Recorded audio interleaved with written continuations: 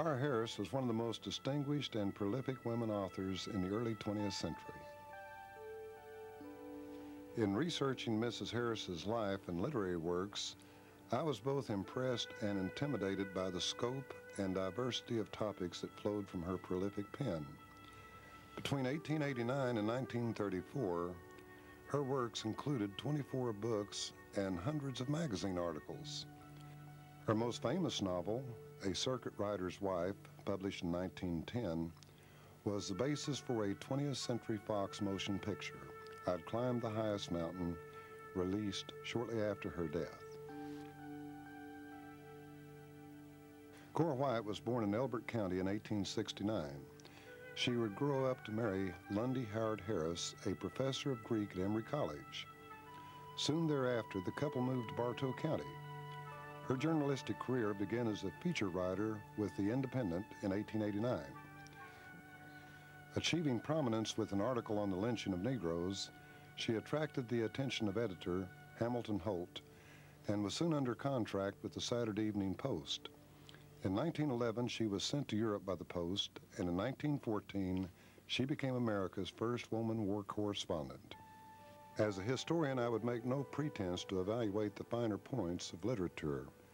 Corra Harris wrote for common people, and her success on that score was indeed phenomenal.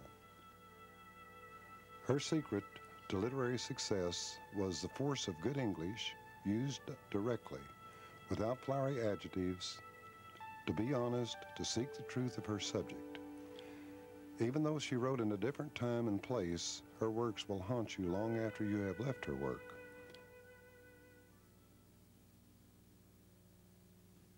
Let us go now to Cass High School, where Professor D.D. Yao of Kennesaw State College, an English professor and an expert on the literary works of Corra Harris, is directing a lecture discussion class on the life and works of Corra Harris with an honors class at Cass High. She was born uh, right after the Civil War, 1869, and died in 1935. And as she said, she was coming up as the price of cotton was going down. Her daddy was a planter, three generations of planters. Uh, they did own slaves, uh, but they were like all the other Southerners after the war. They had really very little left. And she was a woman who grew up working hard. She, uh, they lost their house in the in the war. It was burned, with the exception of five chimneys, and they lived in the overseer's house. And and she had her daughter in, in a room there too. So there's a kind of continuity and a connectedness to the earth that I think makes this woman very wonderful. Um, she wrote all total 14 novels, and most of them were serialized. Do you know what that means when you serialize a novel? It's, they're published in magazines first Saturday Evening Post, Harper's, Ladies Home Journal, Country Gentleman. You've read some articles from Country Gentleman. And this was very common in the 19th century and in England and in this country. In fact, William Faulkner serialized too. And she had a very wide reading public. I think what's interesting is to look at her work today and see if it touches us as it did uh, when she wrote. Her book that she wrote called A Circuit Rider's Wife generated such interest that she was receiving mail 25 years later. In fact, kept it stacked in a room in her cabin. Uh, I think it was very important to her that people responded to her books. I don't like to read from notes because um, I figure you could just come up here and read them too. But I do want to tell you something she said because it struck me, not just about her, but about any writer. Why does a writer write? What are they telling us when they write? Books that speak to our hearts. And she said as a writer that there was there was one thing that she always counted on, and and that was that times and civilizations and people's beliefs are going to change but that the human heart never changes. And that's the one country that we all inhabit together. Uh, even though she was a woman uh, from a very in a very different time from ours, I think probably her life experiences were not so different. And uh, the fact that she married young, 18 years old, married her Lancelot. She loved Tennyson's poem, Lady of Shalott, memorized it when she was 16, and married a preacher. Now, like, um, life, things don't always turn out like we want them to. And we were talking just a little bit earlier about what her marriage was like, and you promised me that you would talk about that. To begin with, her marriage seemed to be okay. She was a very strong woman, sort of controlled her husband. And as time went on, he began to go out on circuits preaching and going out, and he sort of began to drift from his religion as well as from his wife. And that began to get to her. He was appointed to a couple of college boards, taught at Emory University, kept uh, him away from her a lot. And uh, he, at one point in their marriage, after I believe about 12 years, left her a note and ran away for two weeks. When he finally returned, he wasn't exactly all there, so to speak. He had basically gone senile, gone a little crazy, and attempted suicide six times, and on the seventh attempt, he succeeded. Let me introduce Bill Raines and Betty Raines Upshaw. Bill and Betty are brother and sister, and both came to live with Corra Harris when they were quite young. Could you tell me, share a little bit about um, uh, what type of person Lundy Harris was, or anything about their marriage that, that you think would be of interest to um, to people interested in Corra Harrison? uh, uh, uh, Lundy, Carr has said that she was as much uh, um, Lundy's child mentally as she was her parents' child physically. Physically. And uh, uh, she she was not well educated. Carr Harris had gone to school, uh, never to college, uh, but she stayed with went to uh, uh, stay with her uncle, and um, and to and he was a teacher, and uh, uh, Lundy he was Lundy's best friend, and so that's where she met him. Oh, okay. As And he was a good bit older than Carr Harris. Mhm. And um, he, he told her, though, then, he said, Now I'm going to marry you when you grow up. And she said she believed it, you know. And so uh, they, they did marry. But I think, uh, I don't know, but I'm almost sure that, that Lundy did not pursue it as much as Carr would, would have liked him to. But, uh, and she may have made some advances to him then, you know, that, that uh, ladylike, like they don't, like, like you do now. And, and Mhm. because she, she knew, she, said- he, he said he was going to marry her, you know, and that, and, uh, um, but uh, everybody loved Lundy that I've ever met. Some of, of, of the people that he, he, he that uh, had gone to his church, and uh, um, and his doctor, I knew him that that uh, uh, later on in life, and he said he's one of the most attractive men that uh, that uh, that he, he he had ever known, but uh, that he had that he had the desire to be punished be, uh, the, because uh, uh, he he I, th- I think he felt that if he was not being punished, he was not he, he was he was not doing the, the will of God. Mhm. Uh, And, uh, that's uh, I, I've read that he that he was like a self-destructive type Yeah, uh, personality. yeah, uh-huh. Mhm. And uh, uh, was really uh, uh, whenever they uh, he got a good church and he got it going good, but that would be too much for him. He would he would uh, either uh, leave for a while or he would. Uh, one of the things that he did was to get get up and and uh, uh, uh, uh, confess to things that he had not done. And they had followed him up, and he had not done them, but Oh. he said he would. So he would lose his his his position, his his church. That that is strange to Mm, to openly confess something that you haven't Yeah, done. That, uh, that's yeah, that's interesting. And, uh, um, but Darius, wherever he went, or whatever, if, if they uh, uh, uh, lost all they had and everything, she was she was right with him, you know. And and W- I- Were they ever reduced to poverty? yes, they were. They um, um, uh, when he he left at, at uh, when they were down in Oxford.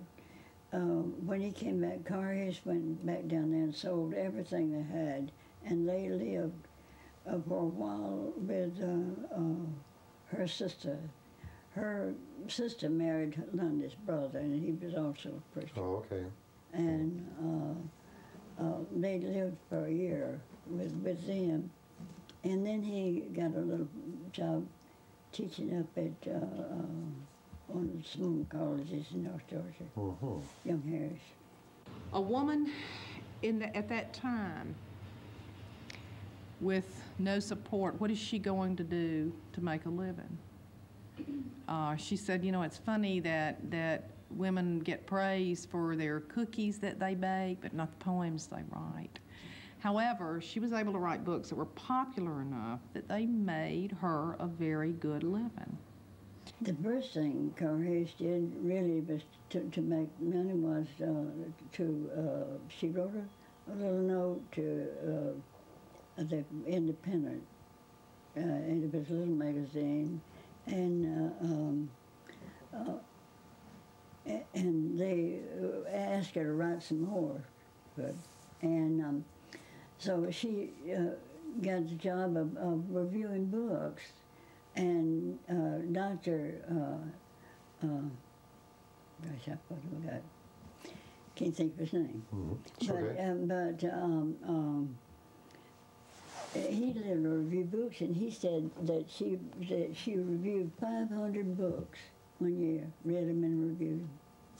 That's incredible that she Yeah. read and reviewed Yeah, 500 but books. she would Mm. she was doing anything then and then to keep it, uh, faith in school, and and uh, I suppose, uh, but um, uh, one month later, uh, she was in Florida for a few, few months, and uh, um, uh, Lamb in His Bosom was published, and um, she, they, they wanted her. She was writing for the journal then, and they wanted her to write a you know comment about it, and she wrote it, and she was having such a good time down there. She didn't read the book, and um, she sent it up to me to be typed. And uh, uh, she had had the ending, it wasn't like it was in the book. And um, so I took cut that out because she was always she's always too long anyway. And uh, um, so uh, I told wrote to her and told her I said I had to cut that out and, because that wasn't the way the book ended. She said oh, it was the way it ought to ended. What about some of the articles that, that we've all read together to prepare for this? You read one that, that I hadn't looked at, The Weaning of Boys. Tell us about that. Well, the Weaning of Boys, she talks about how dependent that young young kids are on their on their mother, like especially young boys. And I thought it was funny how how she punishes her her kids or teaches them a lesson by feeding them castor oil when they act like they're sick, so they so they don't work. Well, they act like they're sick, so they'll get out of the work for the day, and then she feeds them castor oil, so next time they're ready to work. Yeah, that works. I remember my mother telling me about her grandmother, her mother doing that, my grandmother. Do you think there's a modern analog to that? No. Probably not. But you like that article. It was good because it, it showed it was pretty true to life how young boys act and how dependent they are on their mothers compared to how girls are. And it's, that's a wonderful contrast with the article that we all read about the Raines girls, right? What was your, what was your impression about that, about that particular article? What did she say about those, those um, two girls? Anybody? They just came trailing up there like something out of a storybook, didn't they? And in effect, ended up staying with her. When her daughter Faith died in 1919, that was that was a very very heartbreaking time for her. Faith was her companion, but the Raines girls were there. She had it's, she almost raised them, didn't she? I mean, when they came into her life, it was right after the flu had that, that flu that was sweeping the country um, around 1918 or so. I started here, coming up here with my brother-in-law to haul, haul for Car Harris, and uh, then uh, I don't know.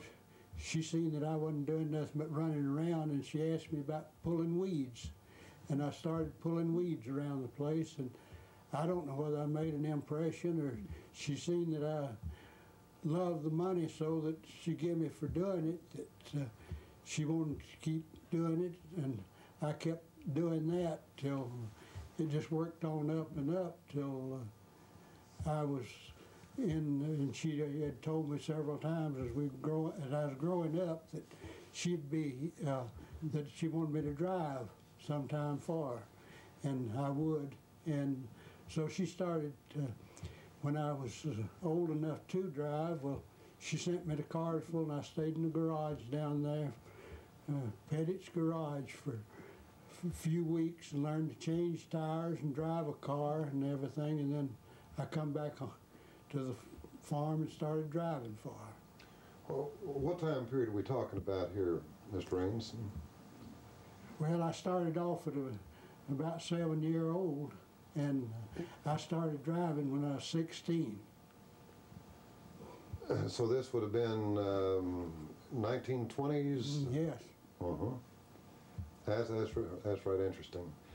Uh, Ms. Upshaw, how did you end up here at, um, uh, now you lived with Carr Harris for several years, as I understand it. Yes, first, uh, um, Car Harris's sister, Hope, uh, they found her dead and buried up here. And Car Harris had a lot of uh, uh, work to do, and she was going to have company. And, and uh, Hope was over spending the time with her to look at, to really be hostess for her in the house. And because she had, she'd come up here to work. Now, this was called the pot. The pot of gold at the end of the rainbow, and she had a little rainbow path down there. So um, uh, she'd come up here and work half a day, and then take the other time off. See, and uh, with her guests, and so uh, when when after Hope died, then um, Car Harris came down and asked my mother. Now we had been working for her before. There's Port 11 windows about that big that has to be washed, you know. And they have to be washed, and they have to be washed because they have pines and we have all that sort of stuff. Mhm. You know. So we had washed windows and, and, and oh, anything that just happened to come along, you know. And um, uh, I think we got into it first, my sister and me. We, we, uh, she liked flowers, and we found out that that she liked trailing arbutus, and that was on her, her birthday, the 17th of March. So we'd bring her stuff. So she asked uh, my mother to let one of us come up and stay uh, a week. And so I stayed 18 years. You stayed for eight, you, were invited for a week and stayed 18 years. Yeah, and then uh, the old, old um, colored woman she had cooking uh, uh, just played out. And so my sister then came and cooked. And she said, uh, she said, she told us, now, do you want to be an artist or would you want to be just a cook? If you're not, a, uh, you want to be an artist, you can cook whatever you want to, and you can uh, have the uh, uh, uh, say so about what's cooked and how it's cooked and so on. That's what you do. Now, while you were growing up, and, and was uh, Mr. Raines here kind of wild as a March here and keeping the roads hot with Carr Harris's car, or Well, I think. uh, did she have him under control I as the think chauffeur? he, he probably did sometimes, and she didn't. I don't think that she knew, knew too much about it, but. Do you want to say anything about that? and I didn't that? know it either. If I'd, have- I'd have told it if I had, you know. Yeah, You- you'd have told on yeah, him, huh? Yeah, if I'd, if I'd known it, they did. But I found out later they did, but yeah. You had a sister who lived here with you all those years too, Mm-hmm. and and uh, Mr. Raines, you lived here. Yeah. Yeah, yeah. Um, uh, we had uh, uh, first. She built me before my sister came. Uh, she, she's she's two years younger than I am, and uh, um, and she built me that little room uh, that's, uh, that's single, but it's, but it's, uh, but it's just a single bed. She bought, she built that for me and, uh, and, and a bathroom upstairs. Mhm. And then when my sister came, we switched over to the bigger room where there's double bed for a while. And then she um, uh, built that house for us over there. She went off one, one, one winter and uh, she fixed the house. It was, it was there, but she changed it over and, and built it into a, a real house, and that was ours. Oh, okay. So you had your own separate house on the grounds here? Yeah. I see. Yeah, and uh, we went with her everywhere, and, and uh, my sister, I expect, uh, kept her alive for a long time. She had a, a, a real uh, uh, bad heart condition, her heart, and uh, uh, her sister and her mother died of heart attacks. Mhm. But those two girls that came up to her house kind of moved in, and, and do you remember what she said about teaching children? Don't tell them what to do. Don't, don't direct anybody. A fool can take orders. Do you remember the little task she gave them? One of them, I think it was Betty. She had to rearrange the, she had to rearrange the furniture in the room. Yes, to look like. To look like- What? So when a stranger came in, they would feel comfortable. Yes, It's the heart of a good man. right. To look like the heart of a good man. To be very welcoming. What did she say that that child did with that furniture? Stuck it all up in one corner, didn't she? And in later years, they had um, the two girls had a had a cabin that they lived in, and she. And this is the writer artist. This is the kind of thing a writer artist will do. She said, I just couldn't keep them in the cabin with me. They were just moving that furniture around all the time. So they were they were very good companions to her. Well, I wanted to ask um, Mr. Raines about some of his experiences as the, the, the key chauffeur and, the- and the driver for um, Car Harris. Where, where did you take her? Well, we take, we'd go to Cartersville and we had to go to Atlanta to twice, usually once, to, lots of times twice a week to Atlanta. and then uh, I drove her to Nashville and uh, so uh, I never made Mary. She very many long trips. She was done getting, she wasn't able to make those kind of trips in the car. Well, did you have a chauffeur's uniform? Oh no, I never, I never wore a chauffeur's uniform. I, She didn't own it, but she wouldn't have had that anyway. Yeah. Mm. but uh, they, uh, I had. Uh, the one thing they liked about me around here was that uh, if the pump broke down, I knew how to fix it because uh, the ones that uh, she'd have her uh, before when she had those Negra chauffeurs, well, uh, they'd have to go in town and get a mechanic to come out and fix it. And when I was pulling weeds around here, well, those mechanics would want me to stay with them because they're afraid of the dog. And they was glad to show me all about the Delco and the pump uh, because they didn't like coming out here because was too afraid. And uh, so uh, then uh, in the later, uh, didn't take me but a few years till I knew all the tricks on that pump and Delco. And, uh, and if, I, somebody got mad because I went off the night before or something or another, well, and didn't like it, well, it didn't make much difference. After I got learned all, tho- doing all those things, well, I was pretty important to have around, good to have around the next morning anyway.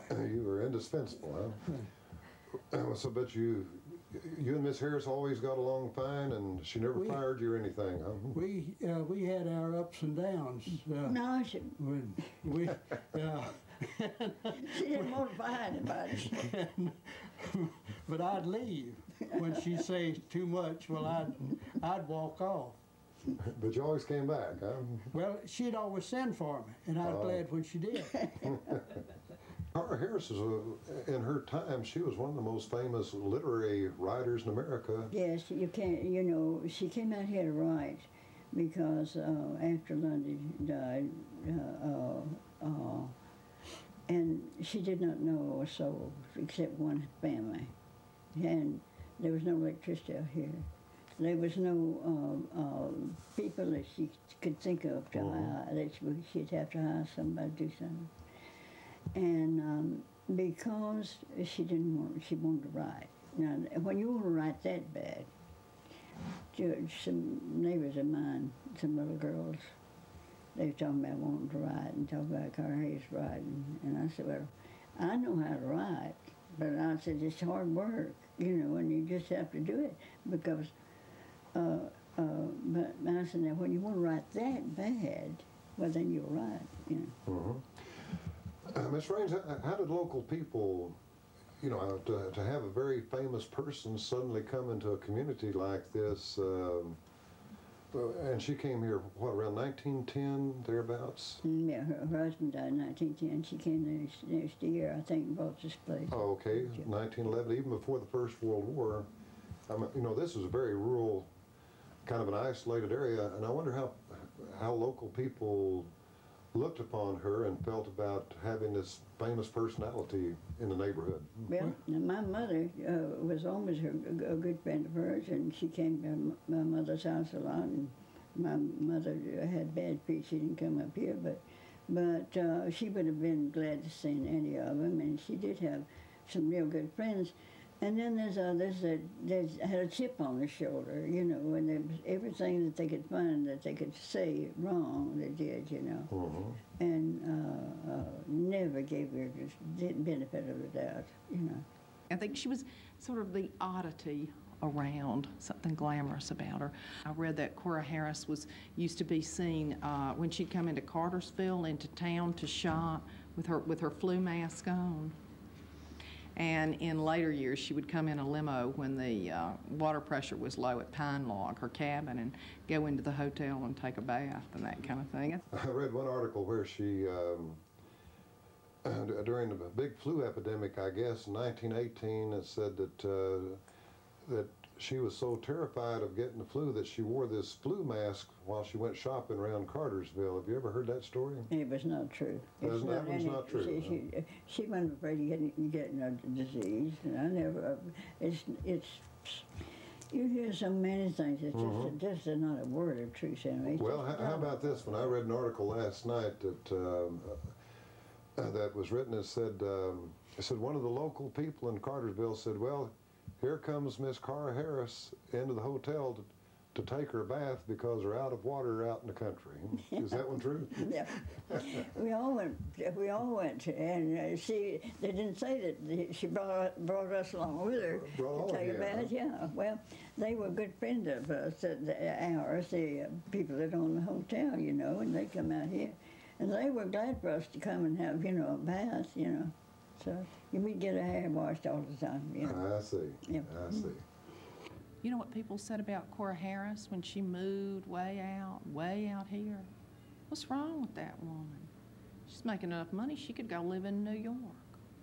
Now, why didn't Corra Harris want to go live in New York? She wanted to come home. She dedicated one of her last books of memoirs to Georgia. She said, I was born here in the red soil, I grew up in it, and I wanted to die here and be buried in it, and she was. And the um, chapel is made from stones in the area from around her home. She came back and built a, a log cabin called Pine Log. Um, took her two years to get it built from 1912 to 1914. And that was really in the boonies then. I mean, Cartersville, I think, was 20 miles away, or, or the town. So she was living way out with just a big old dog and, and the Raines girls to help her out too. I'd like to introduce Lynn Archer, who is the owner of the Corra Harris property here. And Lynn has done an outstanding job of uh, maintaining Corra Harris's uh, home, uh, the outbuildings associated with Corra Harris's property here. And one thing I like about what you've done, Lynn, is to invite people such as the Etowah Valley Historical Society. We had our annual meeting out here in the spring. I notice other groups are welcome to come out here. So Lynn's done a real good job of, sh- of sharing the Corra Harris uh, story with, with the public. Now at this point, um, I'd like to identify this building here.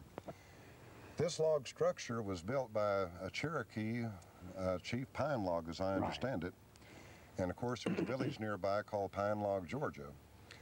And one thing that's uh, interesting to me about this building is that this house was built before there was anything known as Cass or Bartow. This predates the county itself, this structure does. Lynn, when you look at this old log cabin here, and you're standing here where I am, what you see is that the, on each side of this cabin are uh, several wings off to each side. Uh, what's the story on uh, when Corra Harris lived here? Um, how, how did this evolve and develop into such a complex out here? Well, Miss Harris came here in 1913, and the cabin's all there was. And through the years, she added on Uh-huh. before 1920 and probably around 1920. Okay. And if you look, um, Lynn showed me one thing I think is of interest. If you look right here against the wall with these logs, you see these holes in the logs, and the story goes that um, while the Indians still occupied this site, that those holes would have had poles coming out of them, and that the Cherokees would have done their weaving, uh, With blankets. the blankets and that sort of thing on, on the side of the wall here. And thank you for inviting us out, Lynn. You're quite welcome. Thank you.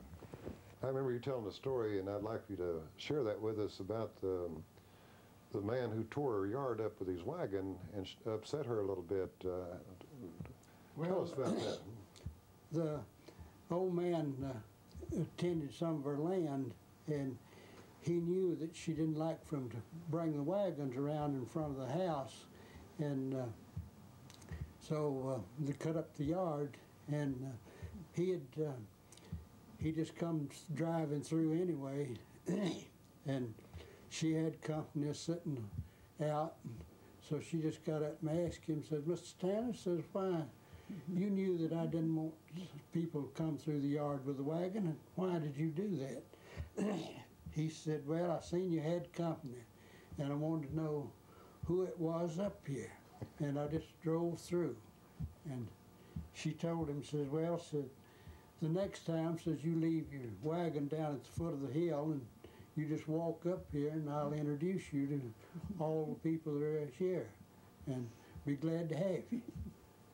I, I think you told me that um, because she was famous and whatnot, that, that sometimes people would just come up to the edge of the yard and, and look up at the house to see if they could get a look at her. And how did she feel about that?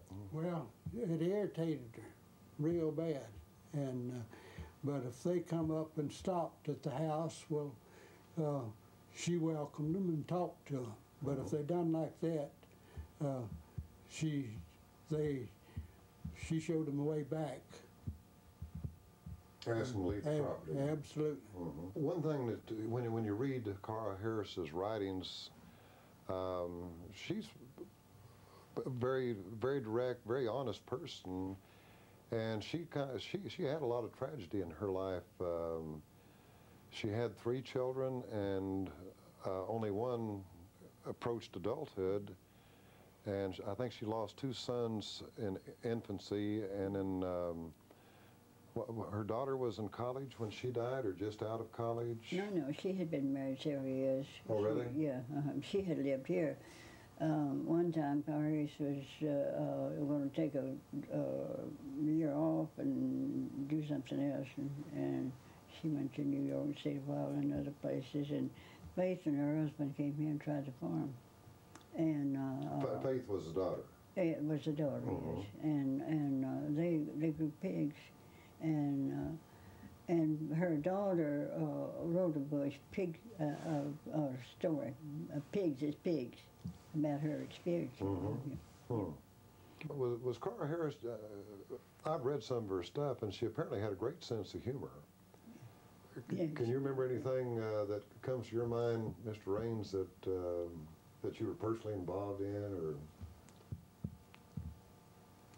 I think, Well- you, I think you remember you telling me something about uh, too many cars going by here in the middle of the she- night. Well, uh, she had, uh, she's, uh, you, she could hear cars passing at night, and then when the cars went by on this road at night, there's something up. We knew that there's, there was always somebody bad sick or something, and uh, some bootlegger, and so she suspected being a bootlegger, and one of the neighbors that uh, cut wood and brought in, hauled over there. Well, she's always get him in the house to find out something from him, talk to him, and she always found out something from everybody she talked to. Uh, she learned something from them, and whether they knew it or not, most of the time they didn't. And uh, she said to him, says, uh, is any whiskey around here? Says, I keep hearing cars pass at night. He said, well, says, they used to be several years ago when I moved here, but said, I just sit in and drank her all up and said, they're not around here now. And, and so the man wasn't joking about, he did drink his part. Some of the interesting things about her as a woman of her time is, do you all know that she was the first female foreign war correspondent? Did you read that in that biography in 1918? Yeah. And she, she went abroad, she wrote back, um, in, in, with a woman's perspective, a woman's point of view. Some of it was, um, I think, looked, looked at sort of askance. But she traveled around. She wasn't afraid to travel. Even though to me she was truly Southern and that she had to come home and, and come back to her roots. She went out to California not too long after her daughter had died in about 1925. Did you read about that, what she said? She went to Universal Studios when she went to California. And she had her picture taken with the Universal Studios elephant, Millie. And they, they took her all around there and showed her everything. And you know what her comment was when she came home? Of course, she later wrote it, wrote about it. She was a writer, so of course she'd write about it. She said, she said it reminded her of a visit she had made one time to an insane asylum, going out to Hollywood. And, and the hotel where she was staying, I mean, Hollywood's always had starlets, right? But this, this perspective, this vision, she said, it looked like, looked like all these, these women had, had graduated and, and hung around after commencement you know, facelifted and all of that. So she saw immediately Tinseltown for for what it was. And, and she made a lot of people mad when she wrote that, that book in 1925, All My Travels or something like that. It was in the last few years of her life that she published eight of her novels. So it sounds to me like she was writing to fulfill herself in, in some way, and that's what writers do, if any of you are writers, and I would imagine you are. There's an interesting article, Black and White. Let's talk about that for a minute. What is, what is she talking about in that essay? That was in, uh, was that Saturday Evening Post or the Country Gentleman, 1930? Post. The Post, okay. You know the Saturday Evening Post had a very wide readership. Um, what, what is your response as a, as a group of, of bright young people in 1993 to that essay? What she said, black and white, she's talking about obviously growing up in the Deep South what is her view as a white woman? What is her view of black people who lived with her, were very much a part of her life? How did she see black people? They were ignorant and they ought to be feared. That was, she always felt that a black man's job in life was not to become educated out of a book, it was to become educated in the attitudes of white men to be able to discover what they're going to do next. Yes, and survive, yes.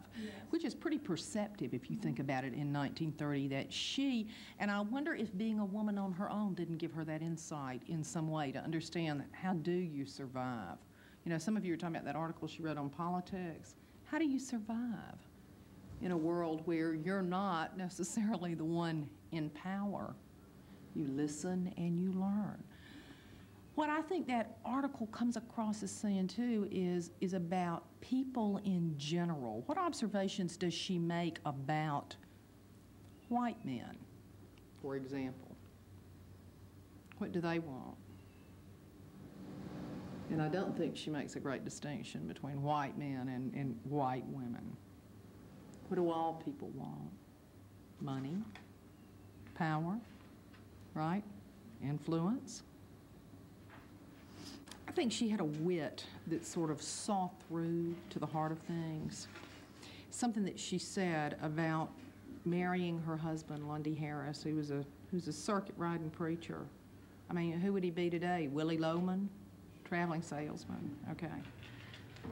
She said, uh, well, he was a preacher and he, and she didn't, she, she was not inspired with this reverence for, um, a man of the cloth necessarily. I think he was sort of her Lancelot who came up. It wasn't just because she was a preacher, because she had a great grandfather who was a preacher, and I think she knew him from the inside out. But she said, well, here's what he'd had to do. She wrote this in her, you know, in one of her books. She said Lundy had one advantage. He'd been called to preach to people, to heal people, um, teach them the gospel, visit the sick, the widow, the orphan, comfort the saint, seek and save lost men, baptize infants, bury the dead, and listen to this. This is the sort of Corra Harris kicker.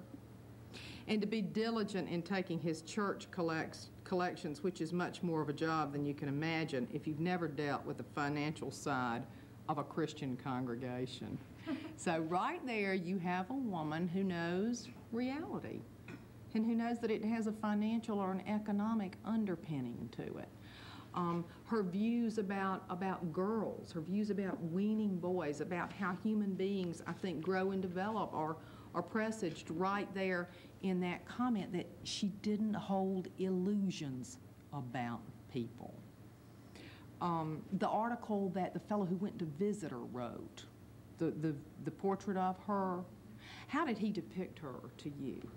The circuit rider's wife. Remember, he's she's famous. She's written all these books. She's living way out in Pine Log, away from everything, and he goes out there to visit her and spends the night, and he's so entranced by the country, how beautiful it is. What did you think about that essay? Did you feel like he was really telling us what she was like? I didn't either for some reason. I didn't trust that. He's telling his readers what they want to hear about. It's a very painted over lots of words. It talks about how wonderful it is to be out in the country and how wonderful he's, how glad he is to be there. And Well, he's a city so boy, out, yeah. been glad. Yeah, I mean, it's kind of amazing. If he's from the city going out to Pine Log, it's quite a change. But you know, it's really it's really in the American tradition. Think about Thoreau, and I think that's where Corra Harris fits in as a Southerner and in this area. When you read her writing, you can see the, the natural beauty around, but her real geographical area is what? The human heart. Mrs. Harris suffered major tragedies in her life with the loss of three children and the suicide of her husband. Having walked through the fire of those ordeals and understanding the depths of human suffering, she wrote about the human condition from a perspective that few of us will ever know. Mrs. Harris was a devout Christian and kept the faith that if you have solid values, you will ultimately prevail. Her works are as relevant today as they were 60 years ago and will make provocative reading as long as man continues to care for his fellow man. You know, Corra Harris is, has been dead for over 50 years, and and you all lived part of your life here. The, you lived your youth here at Corra Harris's home, and just with your interaction with her, I, I'd be real curious to know what type of an impact Corra Harris has had on your life. And you've had a 50 years to reflect on that. Um, uh, what would you say to that, Mr. Raines? Well, I think that uh, I still remember a lot of things that uh, that she said, and uh, that uh, advice that she gave me. For instance, she told me said said always put your money in land. Says regardless of what kind of land. Said put your money in land. Said land will be good forever, as long as there's time. And I remember that as one of the main things that, and I've tried to, uh, I've, I've seen that it did pay off. Well, for me. how, how much land did you did, did you end up buying? Well, uh, at one time I owned, owned 480 acres of land. So that was good advice you gave you, to say the least. It's, it's, it's helped me. And Ms. Upshaw, what, what would come to your mind in terms of uh, the impact that Well, Corra Harris I had? think of all the people I've ever known, Corra Harris was was the most real honest. Uh, to, uh, uh, for instance, I remember she, uh, she found out when when we had bought something in town, and and uh, she when we got when we got back out the car, she found out that she that the clerk had, had shortchanged herself, you know, really, and so we went back to that, you know. She, we had to, we had to do that.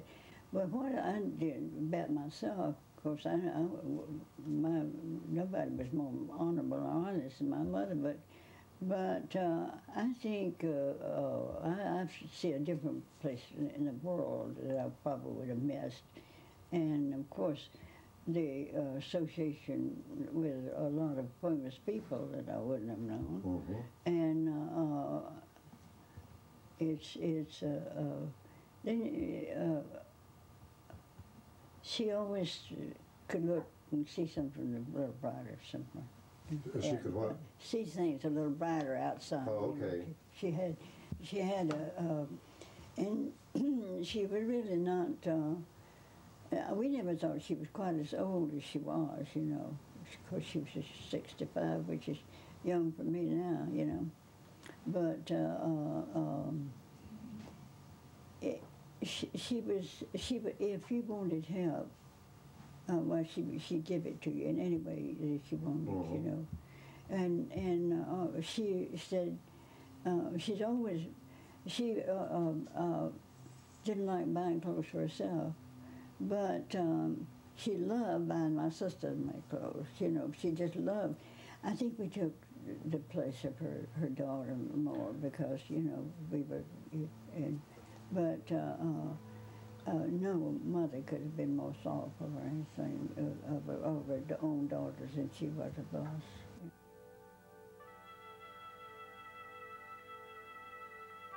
It has been said that a prophet is never without honor except in her own hometown. With Corra Harris, Bartow County was home to a lady who 60 years ago was considered one of Georgia's 10 most famous women. Today, her 24 books are no longer read, and hundreds of her articles gather dust. She is just a name and all but forgotten. Her books and select articles are available in the Bartow County Library in Cartersville for the general public. The Etowah Valley Historical Society is in hopes that this program will renew interest in Bartow's most famous literary person.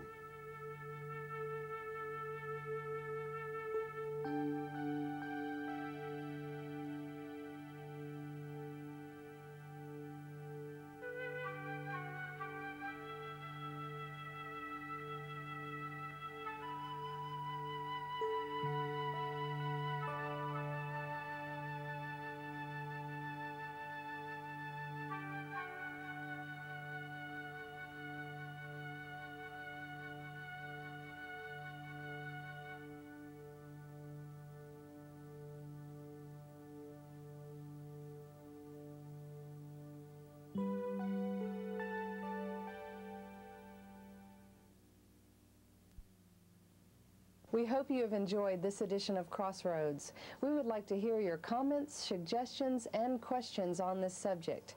Please write the Etowah Valley Historical Society at Post Office Box 1886, Cartersville, Georgia 30120.